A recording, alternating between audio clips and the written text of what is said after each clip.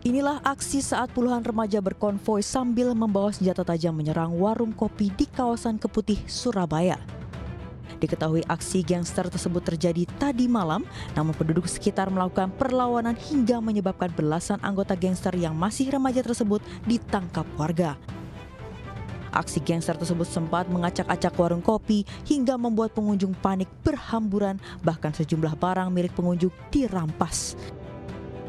Aksi gangster akhir-akhir ini di Surabaya memang cukup meresahkan. Sebelumnya video CCTV penyerangan gangster yang sempat viral di media sosial, kebrutalan kelompok gangster bernama Geng Guk saat merusak pos security serta melakukan penganiayaan ke salah satu satpam yang saat itu tengah berjaga. Aksi brutal ini mengakibatkan satu security dan satu orang anggota geng lawan menerima luka bacok cukup serius. Dari hasil penyelidikan, petugas Satreskrim Polres Pelabuhan Tanjung Perak akhirnya menangkap tujuh orang anggota gangster guguk. Keributan tersebut diduga diawali dari perseteruan antar gangster.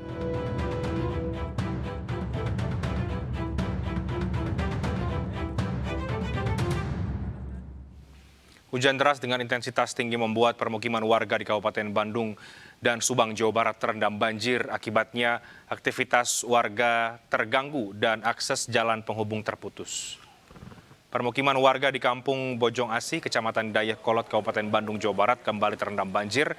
Ketinggian air mencapai hingga satu setengah meter. Lebih dari 1.200 rumah warga terendam banjir. Akibatnya aktivitas warga terganggu dan akses jalan terputus. Warga berharap pemerintah dapat lebih serius menangani banjir karena wilayah merupakan daerah langganan banjir yang selalu terjadi setiap hujan turun.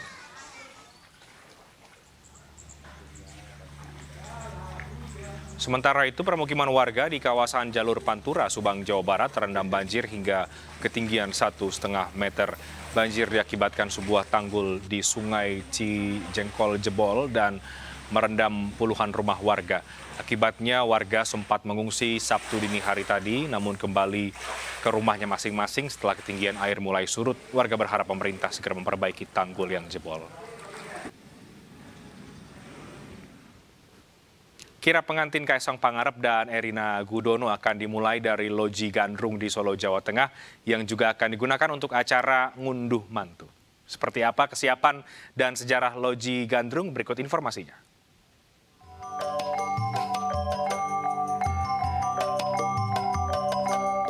Rumah Dinas Wali Kota Solo Loji Gandrung akan digunakan sebagai titik awal kirap pernikahan putra bungsu Presiden Joko Widodo Kaisang Pangarep dengan Erina Gudono.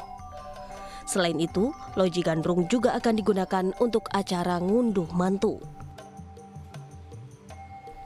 Mengutip kisah sejarah Loji Gandrung dari situs resmi Cagar Budaya Kemendikbud, bangunan ini sudah ada sejak masa penjajahan Belanda. Dahulu, bangunan ini merupakan kediaman Yohanes Agustinus Dezence, saudagar perkebunan gula dan tuan tanah ternama di Ampel, Boyolali. Dezence kemudian menikah untuk kedua kalinya dengan keluarga keraton Solo, Raden Ayu Cokrokusumo. Dezence dan istri mendiami Loji Gandrung sebagai kediaman keluarga. Rumah ini dikenal memiliki hiburan gamelan, taman, dan pekarangan luas serta dikelilingi benteng. Adapun nama Loji Gandrung diartikan sebagai rumah untuk bersenang-senang. Dahulu orang-orang Eropa khususnya kalangan pengusaha dan profesional swasta kerap berpesta di sini.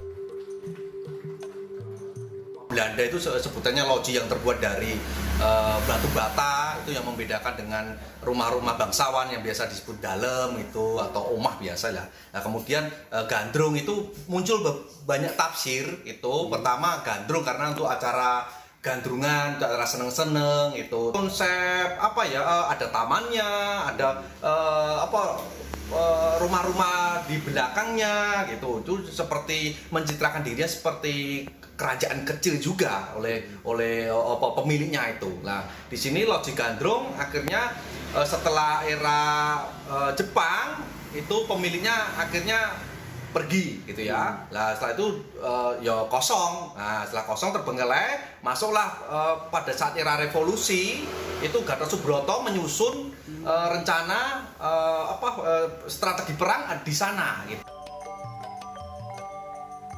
Pada masa kemerdekaan, Loji Gandrung pernah menjadi markas militer Indonesia. Kemudian sejak tahun 1965, Loji Gandrung menjadi rumah dinas wali kota Solo dan terbuka untuk umum.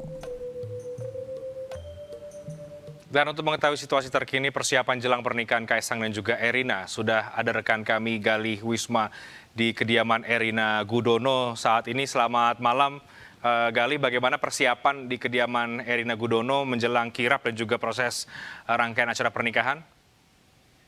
Baik, terima kasih Rehat uh, dan juga pemirsa.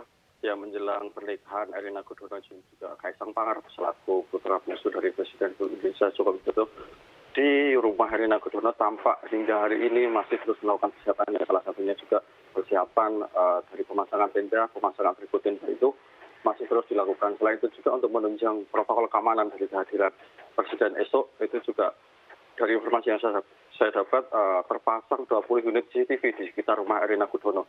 Uh, selain itu juga uh, menjelang di hari H tanggal 10 uh, Sabtu esok di Hamin 3 ini uh, para warga diimbau tidak menerima tamu dari luar untuk menginap.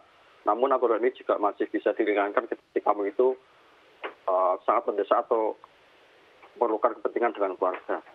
Nah, uh, selain itu juga perlu saya sampaikan uh, acara di rumah Herina ini dimulai sejak hari Kamis itu terdapat ada acara pengajian ataupun jemaah Quran, kemudian di Jumat siang itu terdapat acara siraman, kemudian di malam harinya Jumat malam itu yang rencananya akan dihadiri Presiden Joko Widodo uh, terdapat acara ini. Kemudian di puncak acara itu pada Sabtu tanggal 10 itu ada uh, ijab kabul dan rencananya akan dilaksanakan di Penombo Royal Ambarukmo Sleman Jakarta.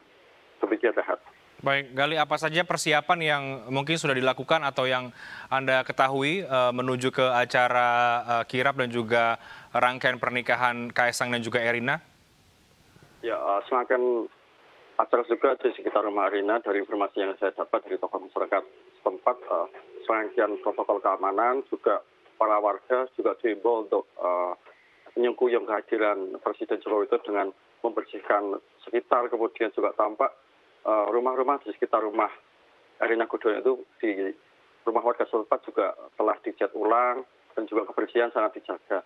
Selain itu juga dari informasi yang saya dapat, untuk keamanan kehadiran Joko Widodo juga rencananya akan menghadirkan warga setempat untuk uh, memberikan apa membantu dengan keamanan. Selain itu juga tersedia juga lahan parkir yang juga telah disediakan uh, karena di rumah Rina Gudono dekat dengan lapangan kentungan itu rencananya juga akan menjadikan tempat. Artinya semua persiapan sudah dilaksanakan dan warga setempat ataupun pihak keluarga telah siap untuk melanjutkan acara Baik. Uh, pernikahan. Baik, terima kasih Gali melaporkan dari kediaman Erina Gudono terkait dengan rangkaian acara pernikahan Kaisang dan juga Erina. Pemirsa kami mengajak Anda untuk membantu saudara kita yang terdampak gempa Cianjur melalui nomor rekening di bawah ini atau dengan scan kris berikut melalui aplikasi uang digital Anda. Informasi lebih lengkap juga dapat diakses di mncpeduli.org. Saya Reinhard Sirait pamit. Terima kasih. Selamat malam.